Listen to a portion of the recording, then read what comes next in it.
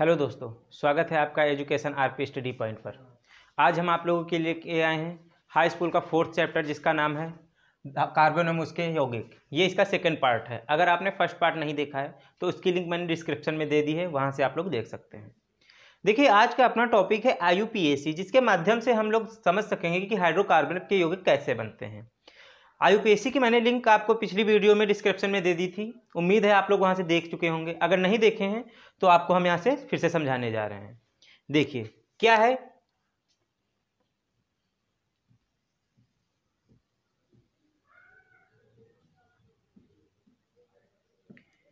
नाम है आई इसके ही माध्यम से हम लोग सीखेंगे कि कोई भी हाइड्रोकार्बनिक यौगिक का नाम किस आधार पर रखा जाता है।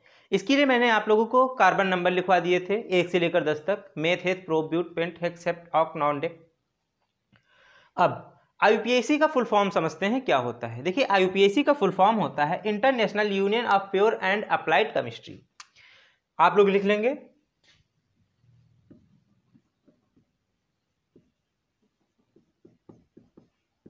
International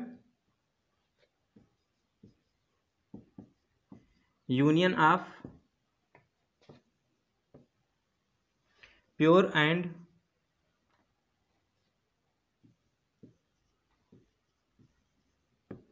applied chemistry.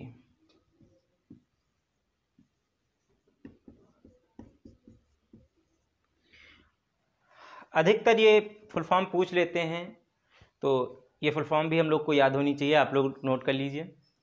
अब चलिए देखते हैं हम लोग कि ये आईपीएससी किस माध्यम पे रखी जाती हैं। मैंने आपको संतृप्त और असंतृप्त दोनों के ही फार्मूले लिखवा दिए थे। तो सबसे पहले हम उन्हीं के माध्यम से समझेंगे। देखिए, संतृप्त मैंने आपको बताया था एल्केन्स और एल्केन्स का फार्मूला भी मैंने आपको बताया था C N H two N plus two alkenes से ही हम लोग समझना स्टार्ट करते हैं।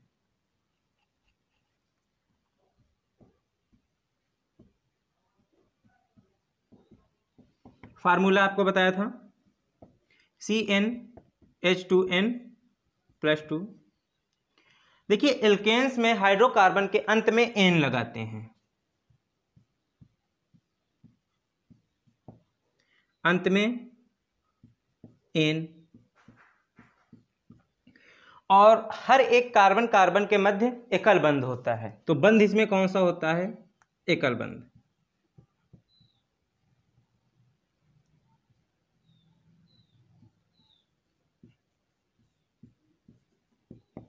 अब बात आती है इस टाइप से हम आईपीसी कैसे बनाएँगे। मैंने आपको जो कार्बन नंबर लिखवाए थे, उनमें से हम कोई भी कार्बन नंबर ले लेंगे जो कि हमें एन दर्शाएगा मान लिया हमने चार नंबर का कार्बन नंबर लिया तो एन की जगह पे चार हो जाएगा। तो क्या हो जाएगा? C four H two into four eight plus two ten यहाँ से हमारा सूत्र बन गया। बात आती है इसकी संरचना कैसे बनेगी। संरचना बनाने का सबसे अच्छा आधार होता है चार कार्बन है, हमने चार कार्बन लिख लिए। बोला गया हर एक कार्बन के मध्य एकल बंध होगा। हमने हर एक कार्बन के मध्य एकल बंध लगा लिया। एक कार्बन की संयोजकता चार होती है, ये मैंने आप लोगों को बताया है। और कार्बन जो होता है, कार्बन एक इलेक्ट्रॉन इस बंध से अपने आप को, से साझा कर रहा है। तो इसके साथ चार होते हैं, एक मिल गया तो पाँच हो गए। अभी इसको तीन कार्बन की और आवश्यकता है अपने आप को स्थायी करने के लिए। तो ये, इसके साथ चार हाइड्रोजन जुड़ जाएँ तो ये क्या हो जाएगा? अपने आप को स्थायी कर लेगा ये एक इलेक्ट्रॉन का इधर से साझा कर रहा है, एक इलेक्ट्रॉन का इधर से साझा कर रहा है तो दो इलेक्ट्रॉन, दो हाइड्रोजन की ज़रूरत होगी। यहाँ पे भी दो की ज़रूरत होगी, लेकिन यहाँ पे हम लोग को दिख रहा है सिर्फ़ एक ही बंद। तो यहाँ पे हमें तीन इलेक्ट्रॉन की ज़रूरत होगी। मैंने यहाँ पे तीन हाइड्रोजन जोड़ दिए। अब देखेंगे कि सूत्र से ये हमारी संरचना मिल रही है कि नहीं मिल रही है। कार्बन यहाँ पे चार है। एक, दो, तीन, चार। चार कार्बन तो मिल रहे हैं। अब देख रहे हैं कि हाइड्रोजन यहाँ पे दस हैं तो यहाँ पे भी हाइड्रोजन दस होना अनिवार्य है। एक, दो, तीन, चार, पाँच छ सात, आठ, नौ, दस। देखिए, यहाँ पे दस हाइड्रोजन भी कंप्लीट हो गए हैं। अब बात आती है इसके नाम की। चार नंबर पे होता है ब्यूट, और ब्यूट के अंत में क्या लगाएँगे? एन। तो इसका नाम क्या हो जाएगा? ब्यूटेन।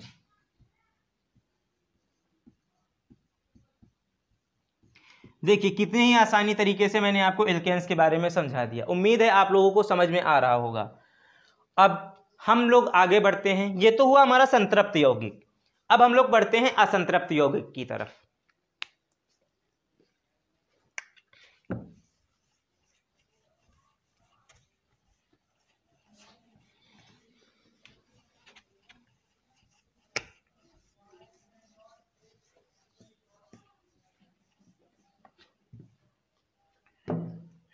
असंतृप्त यौगिक में दो आते हैं, एक एल्कीन, एक एल्काइन। तो सबसे पहले एल्कीन के बारे में समझते हैं।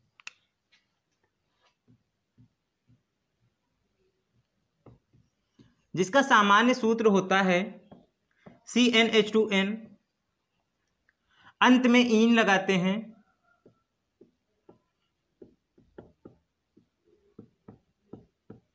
और इसमें कार्बन कार्बन के मध्य मतलब एक ही कार्बन के मध्य क्या होता है?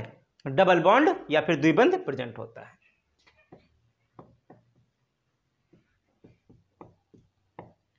अब इसका एक एग्जांपल समझ लेते हैं। मान लीजिए मैंने तीन नंबर का कोई कार्बन ले लिया। तो एन की जगह पे आप सभी को पता हो गया, तीन हो गया। तो मैंने यहाँ पे सी थ्री लिख दिया। अब एच है एच एन की जगह पे तीन रखेंगे, तीन से दो की गुड़ा हो जाएगी तो कितना हो जाएगा? छ यही होगा। अब क्या करना है? तीन कार्बन लाइन के लाइन लिख लेना है। एक, दो, तीन। एक कार्बन के मध्य डबल बॉन्ड और सबके बीच सिंगल बॉन्ड मैंने यहाँ पे डबल बॉन्ड लगा दिया, यहाँ पे सिंगल बॉन्ड लगा दिया।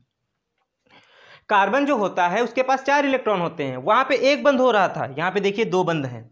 जब यहाँ पे दो बंद हैं, क्या करेगा? दो इलेक्ट्रॉन का साझा कर लेगा। जब ये दो इलेक्ट्रॉन का साझा कर लेगा, चार इसके पास होते हैं तो छः हो जाएँगे। आठ करने के लिए कितने हाइड्रोजन की ज़रूरत होगी? दो होगी। मैंने यहाँ पे दो हाइड्रोजन जोड़ दिए। एक्सक्यूज मी अब यहाँ पे एक कार्बन है। कार्बन इधर से दो बॉन्ड से जुड़ा है और इधर एक बॉन्ड से जुड़ा है। चार होते हैं, दो इधर से मिल गए, छह, एक इधर से मिल गया, सात। आठ करने के लिए कितने हाइड्रोजन की ज़रूरत है? एक। तो यहाँ पे हमने एक हाइड्रोजन जोड़ दिया। लेकिन इस कार्बन में क्या है? सिर्फ़ एक ही बंद जुड़ा है। इसे कितने इलेक्ट्रॉन की ज़रूरत होगी? चार होते हैं, एक इलेक्ट्रॉन बॉन्ड जुड़ा है तो चार पाँच हो गए। कितने इलेक्ट्रॉन की ज़रूरत हुई? तीन। हम यहाँ पे तीन जोड़ दे रहे हैं। देखिए, कार्बन तीन थे, एक, दो, तीन। हाइड्रोजन छह थे, एक, दो, तीन, चार, पाँच छः अतः ये कह सकते हैं, ये हमारी संरचना सही है। बात आती है इसके नामकरण की। यहाँ पे हाइड्रोजन छः हैं, तीन नंबर पे क्या होता है? प्रो और अंत में क्या लगाना है? इन तो इसका नाम क्या हो जाएगा? प्रोपीन। उम्मीद है आपको यह भी समझ में आ गया होगा। लेकिन ये यौगिक कौन सा होगा? ये यौगिक हमारा होगा असंतृप्त यौगिक।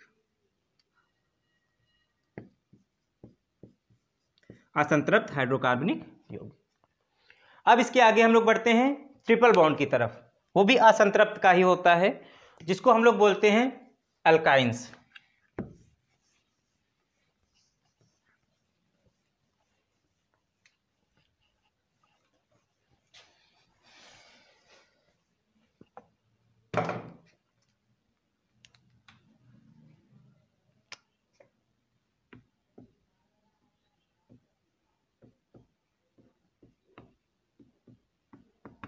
इसका सामान्य सूत्र C N H two N minus two अंत में आयन लगाते हैं।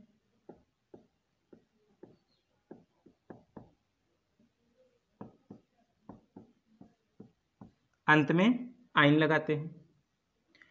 और साथ में इसमें एक कार्बन के, दो कार्बन के मध्य क्या ट्रिपल बॉन्ड होना अनिवार्य है। तो बंध कितने होते हैं? त्रिबंध।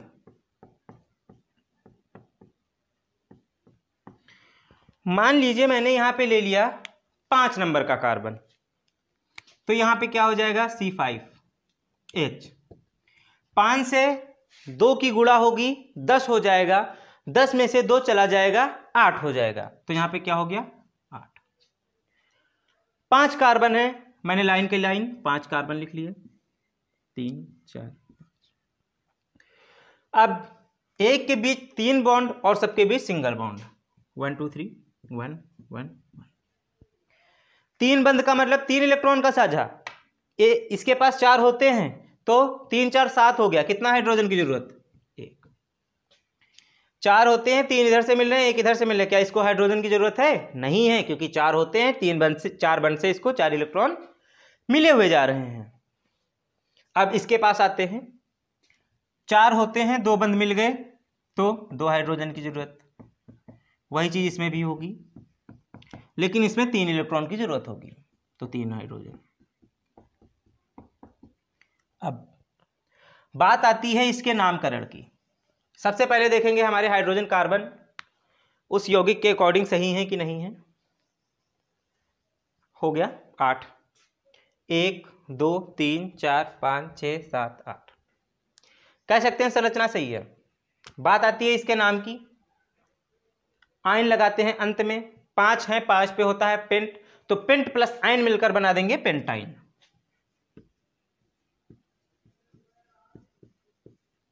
उम्मीद है आपको ये चीज़ समझ में आ गई होगी। अब हम लोग अगले टॉपिक की तरफ़ बढ़ते हैं। अब हम लोग समझते हैं क्रियात्मक समूह किसे कहते हैं। अभी तक हम लोगों ने पढ़ा हाइड्रोकार्बन के यौगिक। अब क्रियात्मक समूह। देखिए, जब हाइड्रोकार्बनिक यौगिकों में कोई ऐसा परमाणु या फिर परमाणुओं का समूह मिला दिया जाए, जिससे जो हमारा हाइड्रोकार्बनिक यौगिक है, उसकी पूरी विशेषता ही चेंज हो जाए और उसकी क्रियाशीलता ही परिवर्तित हो जाए। मतलब हमारे पास राम है। राम के अंदर हम कोई ऐसी चीज़ मिला दें कि वहाँ से वो जोसेफ बन जाए। राम से क्या बन जाए? जोसेफ बन जाए। तो वो चीज़ जो इसमें मिलाई गई होगी, वो उसकी क्या कहलाएगी? क्रियात्मक समूह। उसी प्रकार क्या है हमारा? हाइड्रोकार्बनिक यौगिक में क्रियात्मक समूह। तो जो क्रियात्मक समूह होता है, वो हाइड्रोकार्बनिक यौगिक में अगर मिलाया गया तो उस हाइड्रोकार्बनिक यौगिक की पूरी विशेषता ही चेंज हो जाएगी। उसके गुण ही चेंज हो जाएँगे। वो कोई और ही प्रॉपर्टी शो करने लगेगा और उसके साथ उसकी क्रियाशीलता भी अलग हो जाएगी। तो आइए समझते हैं हम लोग कि क्रियात्मक समूह की परिभाषा क्या होती है। ऐसे विषम परमाणु या परमाणुओं का समूह जो कार्बन यौगिकों को क्रियाशील या विशिष्ट गुण का बनाते हैं। कोई अधिक क्रियाशील बना देगा या कम क्रियाशील बना देगा और उसके विशेष अलग गुण हो जाएँगे। तो ऐसे क्रियात्मक ऐसे क्या कहलाएँगे? क्रियात्मक समूह कहलाते हैं। ऐसे परमाणु क्या कहलाते हैं? क्रियात्मक समूह कहलाते हैं। आइए समझते हैं कि हमारे क्रियात्मक समूह किस किस प्रकार के होते हैं। सबसे पहले हम लोग समझेंगे हैलोजन क्रियात्मक समूह हैलोजन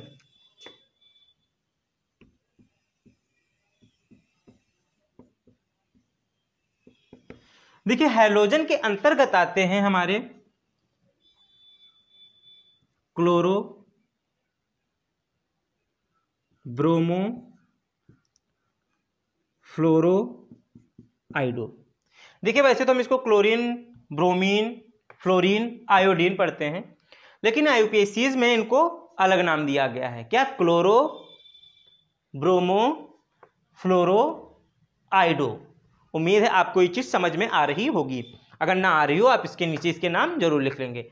सी एल को क्लोरो बोलते हैं बी आर को ब्रोमो बोलते हैं एफ़ को फ्लोरो बोलते हैं आई को आयोडो बोलते हैं। समझते हैं इस पर आई आईयूपीएससी कैसे बनता है? एक्सक्यूज मी मान लीजिए, हम एक नाम लिख रहे हैं, उसका आपको आईपीएससी बताना है।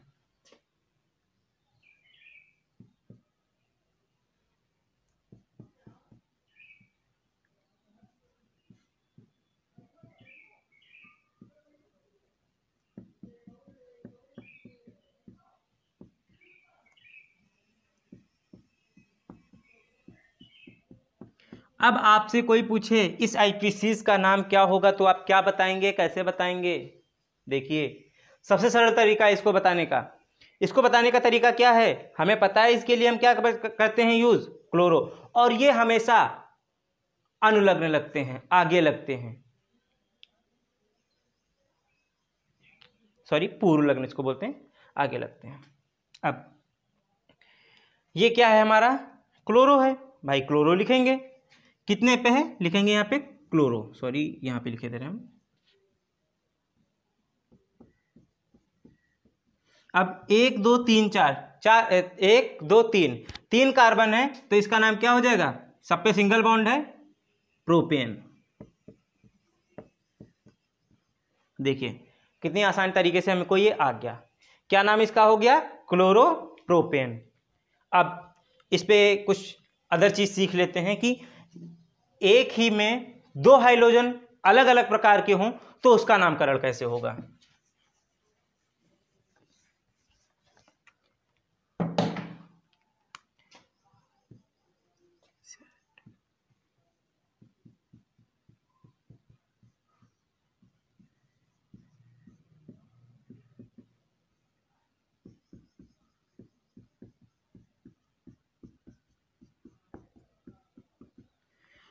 अब बात आती है इस आईपीसी की।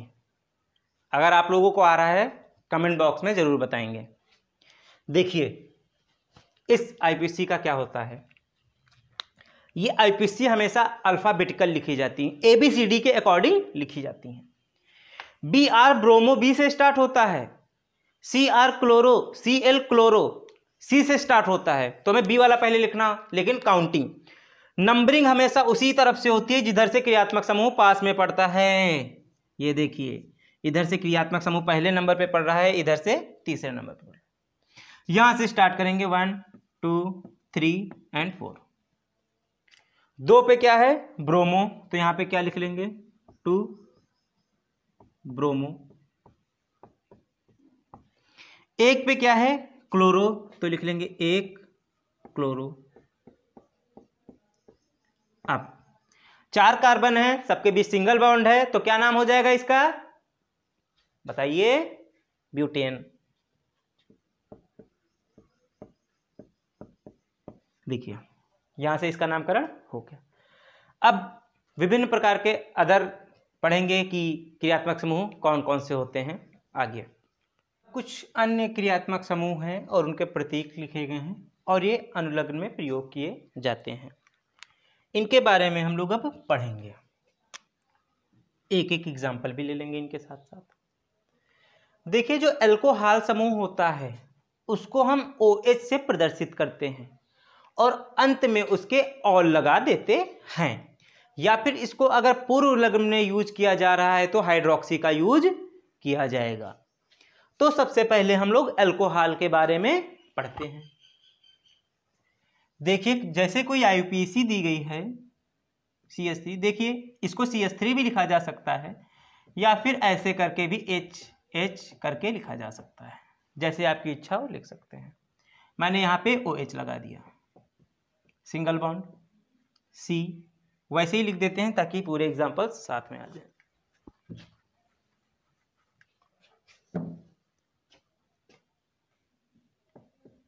सी एच टू क्योंकि यहाँ पे हम एक ओ एच समूह लगाने जा रहे हैं।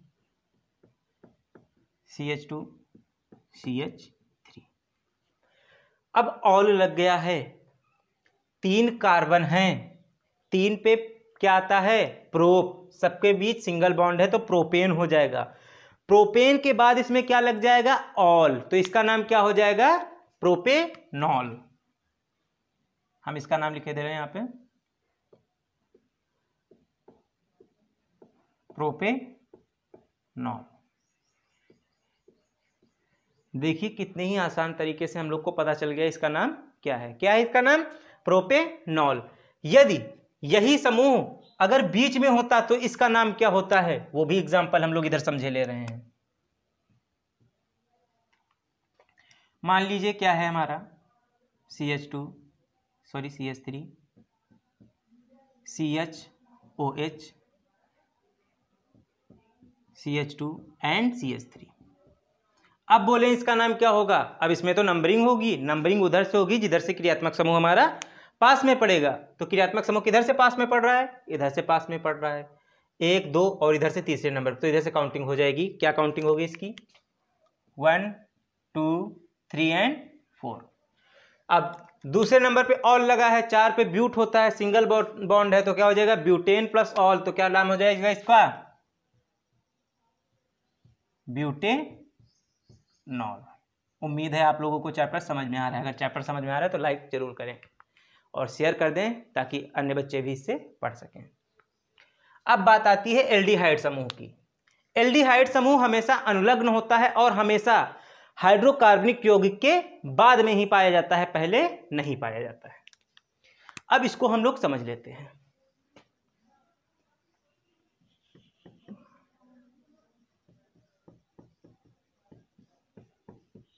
सी एच ओ अंत में अल लगाते हैं। नाम समझ में आ गया होगा। सबके बीच सिंगल बॉन्ड है। मेथ एथ प्रोप नाम क्या हो जाएगा? प्रोपेन प्लस अल नाम प्रोपेनल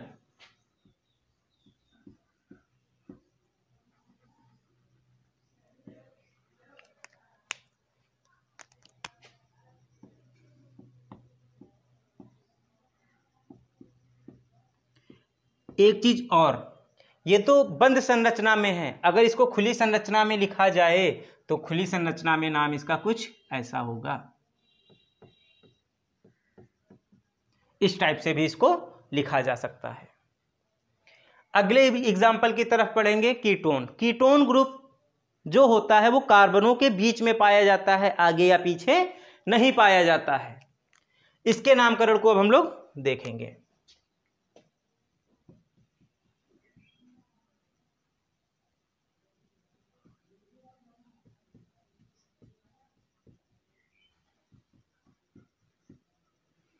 देखिए, बात आती है इसकी नंबरिंग की।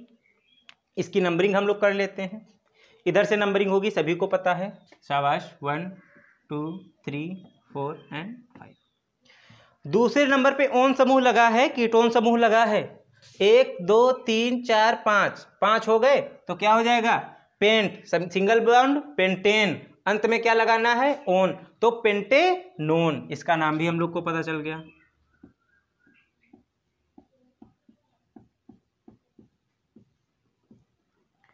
अब कार्बोक्सिलिक समूह की बारी आई। ये भी हमारा अंत में ही लगता है हमेशा। इसका भी नामकरण सीखेंगे भाई।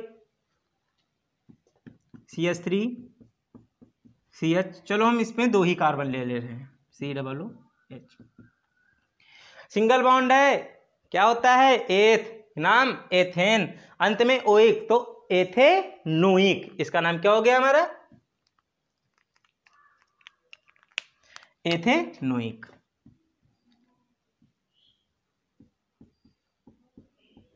मस्ती से पढ़ते रहिए। अच्छे नंबर तो आएँगे ही। बस पढ़ाई छूटनी नहीं चाहिए। अब, नाम इसका एथेनोइक हो गया। अब, जिस प्रकार इसकी अदर संरचना होती है, इसकी भी एक अलग संरचना होती है, उसके बारे में भी पढ़ेंगे। अगर ऐसे भी लिख के आ रहा है तो क्रियात्मक समूह ये है। अगर कुछ इस प्रकार से ये लिखा आ रहा है।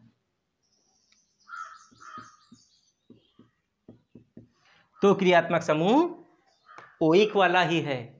उम्मीद है आपको ये चीज़ समझ में आ रही होगी। अब हम लोग आगे के टॉपिक पर बढ़ते हैं। आई के साथ साथ कुछ बंध संरचना वाली आईपीसी भी आती हैं, जिनको जानना ही बहुत अति आवश्यक है।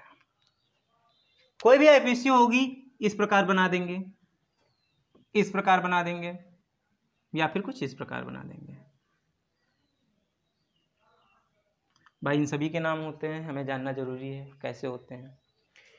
इन आईपीसीज को लिखने के लिए हमें साइक्लो का यूज़ करना पड़ता है। साइक्लो का मतलब होता है चक्रीय, क्योंकि इसमें हमें पता नहीं होता है नंबरिंग किधर से करनी पड़ती है। जो श्रृंखलित होती है उसमें नंबरिंग या तो दाएँ ओर या बाएँ ओर से होगी, लेकिन इसमें ऐसा तो नहीं होता है। यहाँ पे जितने कॉर्नर हमें दिखेंगे, वहाँ पे एक एक कार्बन होता है। हमने लिख लिया।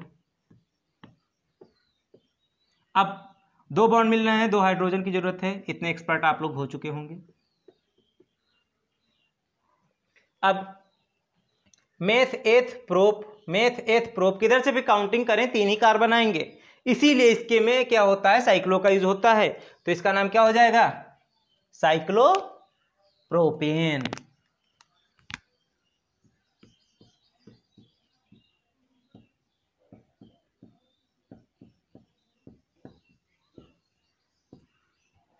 अब जल्दी से कमेंट बॉक्स में आप इसका नाम बताइए ज़रूर। चलिए हम ही बताते हैं आपको।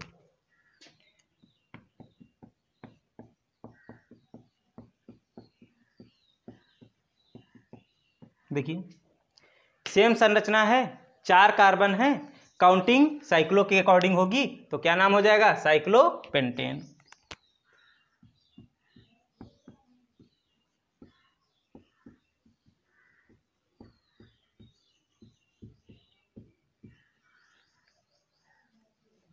सॉरी, चार है तो साइक्लो ब्यूटेन होगा यहाँ पे। क्या हो जाएगा? साइक्लो ब्यूटेन अब बात आती है इसकी। ज़ाहिर सी बात है, पाँच है तो क्या हो जाएगा? पेंटेन हो जाएगा। साइक्लो लग जाएगा। संरचना आपके सामने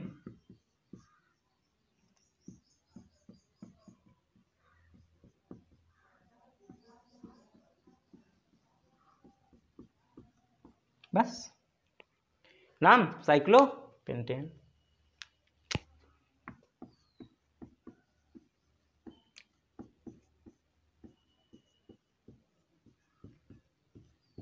इसी के साथ आपके सिलेबस के अकॉर्डिंग आपकी एपिसीज समाप्त हो चुकी हैं। अब आपको अगला टॉपिक पढ़ाया जाएगा सजाती श्रेणी। उसको हम लोग पढ़ते हैं। हैं। सजाती श्रेणी के बारे में। देखिए सजाती श्रेणी एक ही प्रकार के हाइड्रोकार्बनिक यौगिकों और एक ही प्रकार के क्रियात्मक समूह द्वारा बनती है। अंतर सिर्फ़ इसमें इतना होता है। इसमें हम लोग ये कह सकते हैं सी एच टू का अंतर होता है या फिर उसके द्रव्यमान चौदह का अंतर होता है। तो इसकी परिभाषा की तरफ़ हम लोग बढ़ते हैं। वह हाइड्रोकार्बनिक यौगिक की श्रृंखला, जिन, जिस, जिनमें समान क्रियात्मक समूह तथा सी एच टू का अंतर होता है सजाती श्रेणी कहलाती है। उदाहरण में क्या ले लिया? C H three O H देखिए C H three O H तो इसमें भी है, लेकिन बीच में क्या है हमारा? सी एच टू है। तो हर उसमें देखेंगे हम लोग सी एच टू का अंतर होता जाएगा। मतलब सी एच टू की बढ़ोतरी होती चली गई है। तो ऐसी श्रृंखला से प्राप्त श्रेणी को हम लोग क्या कहते हैं? सजाती श्रेणी। उम्मीद है आपको ये समझ में आ गया होगा। अगली वीडियो में हम आप लोगों के हाइड्रोकार्बनिक से संबंधित उनके रासायनिक गुणों के बारे में पढ़ाएँगे। अगर वीडियो अच्छी लगे तो लाइक शेयर सब्सक्राइब करना ना भूलें। धन्यवाद।